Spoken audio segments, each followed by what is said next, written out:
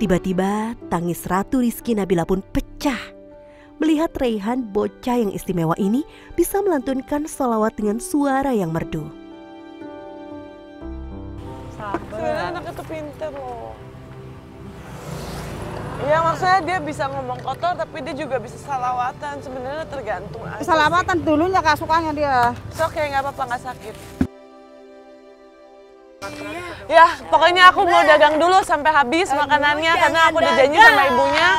Lontong sayur, nasi uduk, starlingnya habis hari ini.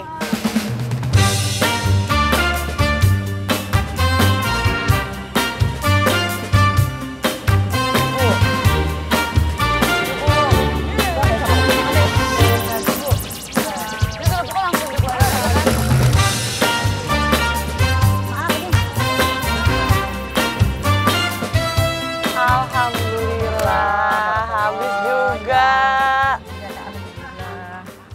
Bu, ini kan udah habis nih. Iya. Tahan sini sayang.